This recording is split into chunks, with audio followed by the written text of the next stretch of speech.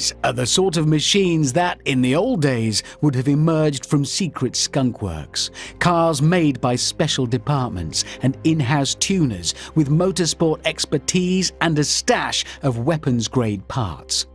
All of these machines push the limits of the models on which they're based, which means that for most companies, these are the fastest cars they make, full stop.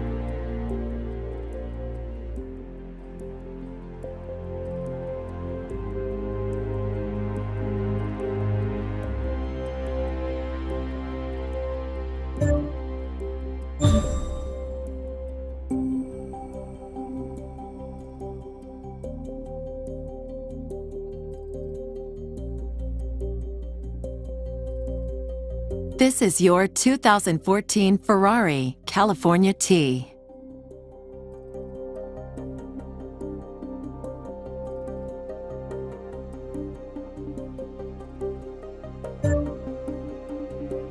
Your next race will be at Le Mans, a course consisting of closed public roads and specialized racing tarmac.